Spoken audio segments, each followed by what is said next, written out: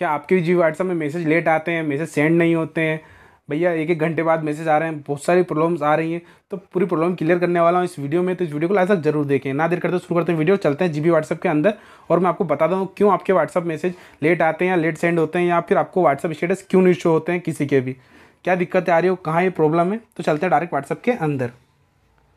मैंने अपना जी व्हाट्सअप खोल लिया, दोस्तों, आपको अपना जी व्हाट्सअप खोल लेना उसका कोई थ्री लाइन दिख रही है, इस पर क्लिक करना है, दोस्तों। उसका आपको सेटिंग पर चले जाना है जीबी सेटिंग पर। जीबी सेटिंग क्लिक करने के बाद दोस्तों आपको कुछ ऐसा इंटरफेस देखने को मिल जाता है कि आपको ये प्राइवेसी या सिक्योरिटी पे क्लिक करना है।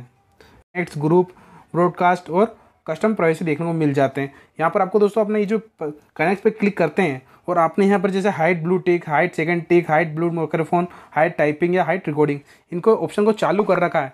तो इनको चालू करते हैं तो आपको एक नोटिफिकेशन देखने को मिल जाता है। जैसे कि मैं इन पर सब पे क्लिक करता हूँ, ये देखिए आप यहाँ आ गया। Use this mode on your own risk message might get delivered receive and late इसका साफ़ कहना है कि भैया आप इसको नोटिफिकेशन को ऑन करते हैं तो आपको मैसेज लेट जाएँगे, और मैसेज लेट आएँगे, और आगे दूसरी भी कुछ प्रॉब्लम आपको देखने को मिल सकती है।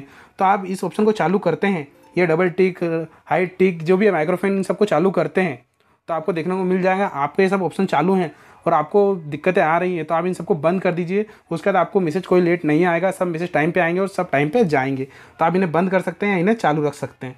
तो सब ये सिंपल सी प्रॉब्लम थी, मैंने आपको बता दी है दोस्तों, वीडियो पसंद वीडियो को लाइक कीजिए, चैनल को सब्सक्राइब कीजिए। मिलते हैं नेक्स्ट वीडियो में, जब तक के लिए बाय